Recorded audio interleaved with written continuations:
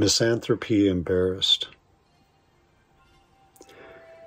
When it comes down to it, though I am hypercritical of our current state, ultimately I have some level of faith and hope in humanity.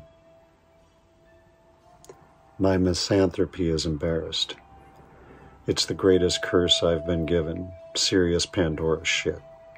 It was there before the kids, visions of a kindler, gentler me, massage, yoga, health food, but the kids sealed it.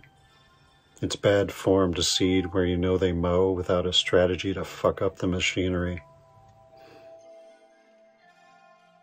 Out beyond these dogmas, right left ideologies, there is a field. I'll meet you there.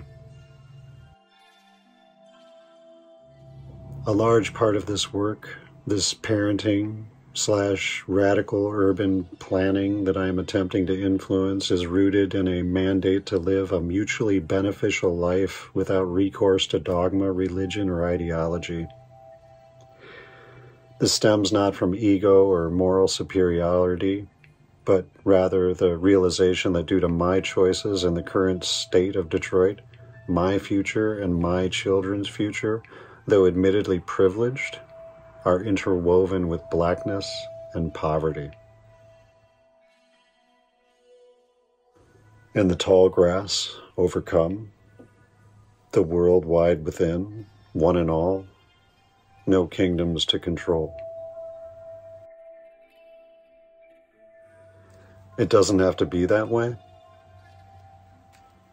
Due to my work, I'm extremely aware of how passive non critical racial, spatial integration and economic status without self awareness can put one in service to corporate domination and white supremacy.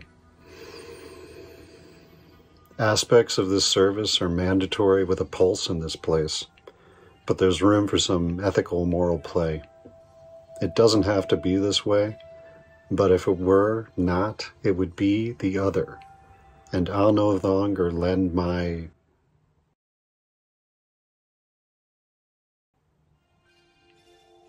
in service to that. Paradise rekindled, struck between eye for eye and you and me. I've sold my soul a few times and I'll still rest my head as required in beds made.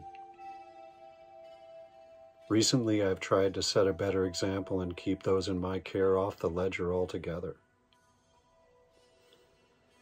For me, this is what an active approach to transition looks like a somewhat calculated, attempted descent from hyper slash disaster capitalism.